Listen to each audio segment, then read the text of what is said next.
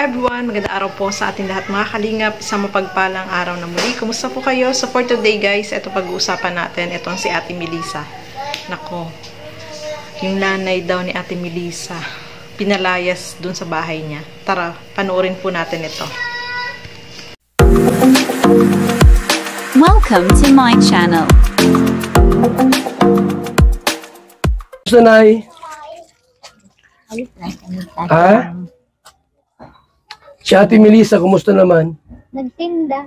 Ah, wala dito? So, okay na ang kanyang isip? Minsan, inaabot siya. Minsan sinusumpong siya. Ay, ano nga, pinalayas na ako sa bahay mo. Ano po? Pinalayas ako. Sino nino? Nilisa, Bakit? sabi daw ko, oh, umalis ka sa bahay ko.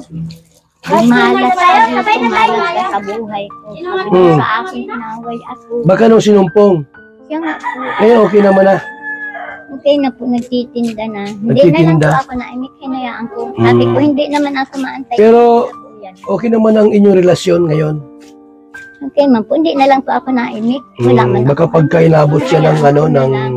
Eh, ang Isip. ginawa nung anak ko, ano, binigyan niya ng kaninda para Okay. magtinda para daw makontento yung isip ko. Mhm. Focus siya sa pagtitinda sa palengke. Ngayon. Kaya, ayan, hayaan mo na lang mama na isara ang bahay. Sabi niya. Kasi Nakasara ba yan? nakakanda. O yung mga anak niya nasaan? Ano yun nga po ang problema ko, yung bata. Kaya Hmm. ako nag-aalala. Sinama niya, Ilan po, ilan yun? yung kambal po na ano, saka yung bunso. Tatlo. Saan sila- Sinama niya, nasaan sila dinala ngayon? niya sa ano, dinala daw sa bundok. Sa bundok. Doon sa amayata ng ano, yung tambal. Ama nung kambal doon dinala. Okay. Ay nag-aalala po ako kasi kinuha niya sa akin na hindi man lang ako kinausap. Ang ibig ko Mm. sabihin, kausapin lang ako noong magulang. Okay. Kung hindi naman ako nagsasabi na ano, ayaw kong ibigay dun sa matanda yung bata. Ang Mm. mahalaga lang, dapat nagpunta siya dito sa akin, binigay niya, binigay alam niya sa akin na, oh, pasensya na Mari, nandito na yung mga bata Baka sa ano na akin. baka wala pang panahon na pumunta rito. Kasi alam mo naman baga yung lugar nila, napakalayo, bundok pa ito. Kaya nagas ako, sabi Mm. ko kay Melissa, bakit ganun? Hindi mo lang ko kausapin, yun lang naman. Eh, nagalit sa akin. Mm, Pero alam mo kung saan yung mga bata. Nandoon sa ama. Hindi ko pa po, yun lang ang sabi niya. Nandun sa bundok, binigay ko dun sa, ano, kinuha nung matanda, yun lang ang sabi Ah, niya. okay. Kinuha daw. Kasi kung yun ay nasa ama, hindi mo niya pabayaan yun. So mga kalingap, ito palang si nanay ay pinalayas ni Ate Melissa dun sa bahay nila. Kung, ah, lag, di ba lagi pong nandyan si nanay dun sa bahay ni Ate Melissa dahil binabantayan niya yung mga bata, no?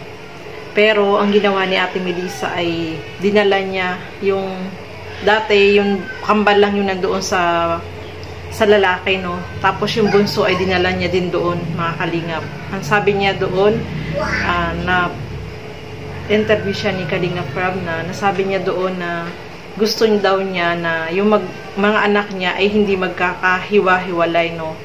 Ah, kaya dinala niya din doon yung bunso, no, mga kalingap. Kaya lang, mga kalingap, itong si nanay, yung nanay ni Ate Melissa, syempre nag-aalala siya dito sa mga bata, no? Kasi iniisip niya baka mamaya daw is hindi na alagaan doon, no, ba? Kasi mahal na mahal ni Lola yung mga anak ni Ate Melissa, ba, mga kalingap, siya yung nag-aalaga. Lalo na nung si Ate Melissa ay nagkaroon ng depression, no? At alam naman natin na siya lagi yung nandoon sa bahay ni Ate Melissa pero pinalayas na po siya doon mga kalingap at ikinandado na yung bahay dahil ito si Ate Melissa ngayon ay nagtitinda na po siya no. So maganda yung ginagawa ngayon ni Ate Melissa mga kalingap dahil nagtitinda na muli siya hindi na siya mabuboard no.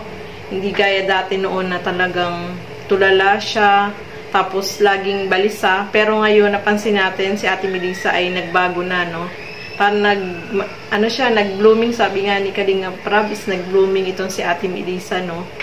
So, mga Kalingap, ah, nakita natin at ang pag-aalala ni Lola ay talagang ganun na lang po, no? Dahil syempre, mga apo niya yan, no? Dahil siya yung laging nag-aalaga.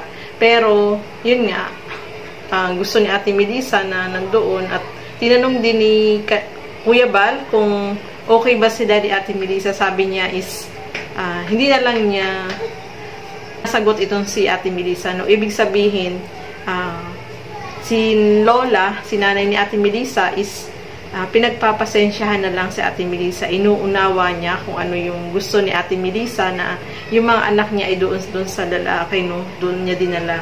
So, bakit ganun yung naisip ni Ate Melissa is hindi iniisip niya is nagtatrabaho siya ngayon, nagtitinda.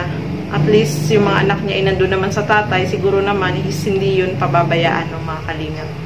So ayan, nagulat pa nga si Kuya Bal dahil bakit nandoon yung ano yung mga bata sa bahay nung lalaki no. Bakit dinala doon yung tatlo?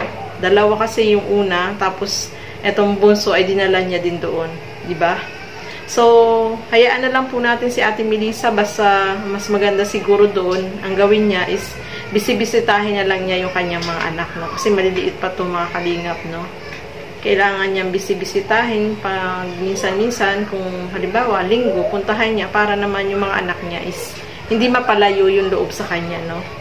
So, ayan, hanggang dito na lamang po muna mga kalingap. Maraming maraming salamat po sa inyong panonood. At lagi po natin supportahan Bal Santos Matubang, Kalingap Rob at Edna Vlogs. At yung mga kasama ko po sa grupo, Boses ng Masa sa Kalingap, supportahan din po natin. At yung aking YouTube channel, Gandang Emmy, sa mga hindi pa po nakapag-subscribe, please subscribe and please hit the notification bell para lagi po kayong updated sa aking mga ina-upload na mga reaction video. At paki-like and follow na lang po yung aking FB page, Gandang Emmy. Maraming maraming salamat po at hanggang sa muli. Bye-bye!